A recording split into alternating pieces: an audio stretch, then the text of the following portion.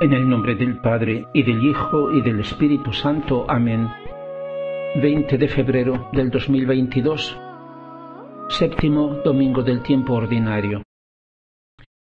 Mis queridos hermanos, el Evangelio de San Lucas dice este domingo que en aquel tiempo Jesús dijo a sus discípulos, A vosotros que escucháis, yo os digo, amad a vuestros enemigos, haced el bien a los que os odian, bendecid a los que os maldicen, pedid por los que os maltratan. A quien te golpea en la mejilla, preséntale también la otra. A quien te quita el manto, no le niegues la túnica. Da a quien te pide, y al que toma lo que es tuyo, no le pidas que te lo devuelva. Lo que queréis que los hombres os hagan a vosotros, hacedlo también vosotros a ellos. Si amáis a los que os aman, ¿qué mérito tenéis? También los pecadores hacen lo mismo. Y si hacéis el bien a quienes os hacen el bien, ¿qué mérito tenéis? También los pecadores hacen lo mismo. Y si prestáis a aquellos de quienes esperáis recibir, ¿qué mérito tenéis? También los pecadores conceden préstamos a los pecadores para recibir otro tanto. Por el contrario, amad a vuestros enemigos, hacedles el bien y prestad sin esperar nada, y vuestra recompensa será grande, y seréis hijos del Altísimo, porque Él es bueno con los ingratos y los malvados. Sed misericordiosos, como vuestro Padre es misericordioso. No juzguéis y no seréis juzgados. No condenéis y no seréis condenados. Perdonad y se os perdonará. Dad y se os dará. Una buena medida, apretada, colmada y rebosante, será derramada en vuestro seno, porque con la medida con que medís, se os medirá a vosotros en cambio. Queridos hermanos, nuestro prójimo, en todo caso, es para nosotros ocasión de acercarnos al Señor, de responder a su amor, de crecer en su semejanza. Como por el contrario, por igual motivo, el trato con el prójimo es ocasión de faltar nosotros ante Dios, de alejarnos de Él, de ofenderle y ponernos incluso contra Dios. Es voluntad de Dios que amemos a nuestros enemigos, a nuestros hermanos, y que les hagamos el bien sin esperar por ello nada, mientras que el amor espera por justicia correspondencia de amor. Pero ¿de quién? No ya del prójimo, sino de Dios.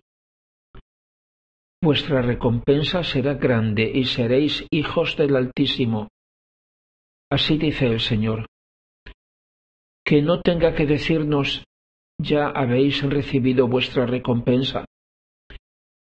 El Padre Divino nos dice, ya te he hecho ser hijo mío con el bautismo, pero no eres todavía como yo deseo. Lo que yo te doy tú todavía no lo tomas. Apenas tomas algo en ciertos momentos. ¿Quieres ser hijo mío? Te doy la ocasión, tantas ocasiones, gracias a tu prójimo. Y entonces, ¿por dónde empezar? Por lo que tenemos más cerca, por nuestra miseria. Y el Padre Divino nos puede decir, pues bien, esto eres tú, y tu prójimo es tu espejo. Por tanto, los defectos que ves en tu prójimo, ten cuidado que no estén en ti, nosotros no hacemos caso de los defectos del prójimo mientras que no toquen los nuestros. Pasamos por encima y no nos es difícil excusarlos hasta que no nos toquen en lo vivo, en un defecto nuestro. Así en el prójimo podemos ver cómo somos nosotros.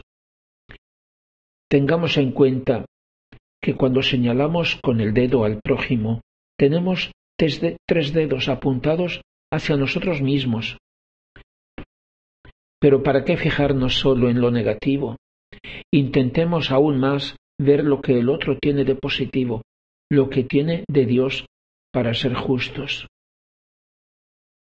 Para ser justos debemos ser misericordiosos, como es misericordioso nuestro Padre. Él nos dice, no juzguéis y no seréis juzgados. Pero si por ejemplo digo, ¿quién soy yo para juzgar? y no aclaro que no me refiero a la conciencia del prójimo, en realidad estoy metiéndome en un gran equívoco, porque yo debo saber juzgar no la persona o la conciencia del otro, sino los comportamientos humanos, las palabras que dice, las cosas que hace. He de saber juzgar y distinguir lo que está bien de lo que está mal, lo que es verdadero de lo que es falso, lo que es según la voluntad de Dios y lo que no lo es. Si en las cosas materiales estamos muy atentos, cuánto más debemos estarlo para las cosas espirituales. Debo saber juzgar no la persona del prójimo, que responderá a Dios, no a mí, como yo no he de dar cuenta de mi conducta a los demás, sino solo a Dios. El Señor nos está diciendo, vuestro problema no es entre vosotros, sino conmigo. A mí es a quien tenéis que dar respuesta de fidelidad y de amor. Dios se abaja hasta nuestras miserias. Eso es la misericordia. Y nos ofrece la mano. De nosotros depende tomarla o dejarla. Nos ofrece su perdón, levantarnos para no dejarnos donde estamos. Dios no se complace de nuestras miserias, de las faltas, de las culpas. Las soporta, las tolera, en vista de que mejoremos y nos convirtamos mientras dura el tiempo de la tolerancia, que luego se acaba. Para emplear la misericordia Dios tiene a disposición el tiempo de esta vida. Para usar la justicia tiene toda la eternidad. En el trato con el prójimo tiene un gran peso nuestra emotividad, que debe ser dominada por la fe. Sentir no es consentir. Dios no nos pregunta lo que sentimos, sino lo que queremos, porque es lo que depende de nosotros. Sentimos heridas grandes o pequeñas recibidas de otros. Conviene no tocarlas, ignorarlas, porque necesitan tiempo para cumplir su finalidad de redención.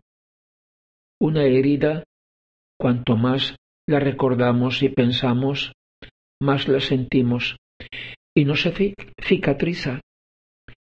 Es señal de que nuestra atención sigue siendo atraída hacia nuestro yo y nos duele. Pero si el Señor nos echara en cara todas las heridas y los disgustos que le hemos dado, sería tremendo para nosotros.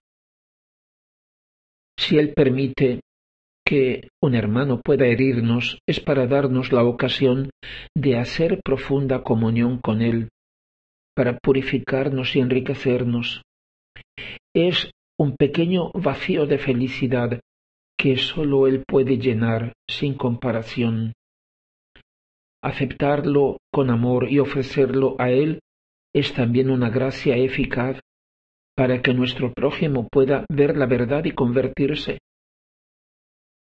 Nos conviene anticipar con la mente y con el corazón como esperamos por misericordia de Dios cuando un día en el cielo nos encontremos con ese hermano. Qué alegría será abrazarlo. Por tanto, mis queridos hermanos, aprendamos a desdramatizar a redimensionar las dificultades con el prójimo, a verlas de un modo más objetivo, más distante, con los ojos de Dios, y a darle las gracias, porque cada cosa es una gracia, pero sin él es una desgracia. Por un dolor hoy, una alegría mañana.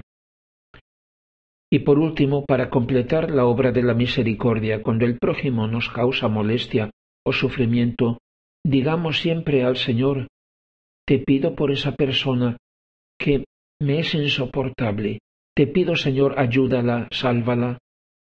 Y a nuestra Madre Santísima, Madre de Misericordia, digamos, te ruego, mamá, te la encomiendo, háblale tú al corazón, tú que sabes hacerte comprender mucho mejor que yo, y bendícenos a todos.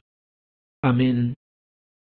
Gloria al Padre, y al Hijo, y al Espíritu Santo, como era en el principio, ahora y siempre, y por los siglos de los siglos. Amén.